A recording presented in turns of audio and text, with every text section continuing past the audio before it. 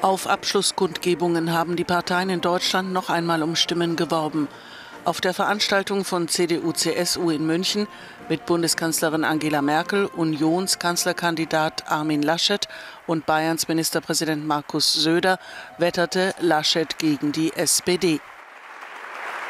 Und sie fangen wieder an mit ihren alten sozialistischen Zöpfen der 80er Jahre. Bürokratie, Steuererhöhung, Leute bevormunden, ihnen vorschreiben, wie sie zu reden haben. Nein, wir haben selbstständige Bürger, die wissen das besser als diese Ideologen, die da herumlaufen.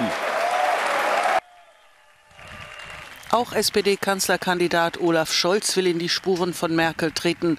Auf der Abschlusskundgebung auf dem Heumarkt in Köln erklärte er, wir brauchen einen Aufbruch für Deutschland, wir brauchen einen Regierungswechsel und wir wollen eine von der SPD geführte Regierung. Schön, dass Sie alle da sind.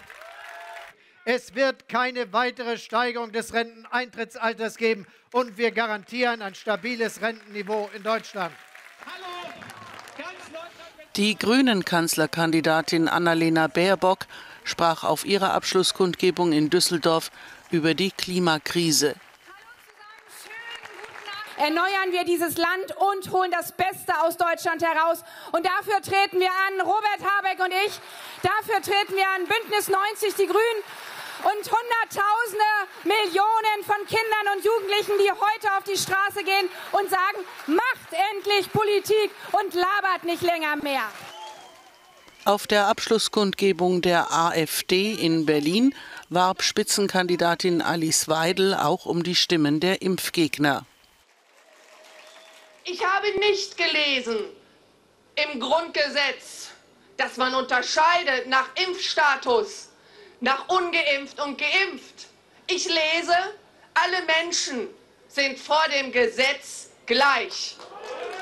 Alle Menschen sind vor dem Gesetz gleich. Am Samstag soll es nur noch kleinere Parteiveranstaltungen geben. Die Bundestagswahl am Sonntag gilt wegen der großen Zahl an Unentschlossenen als offen.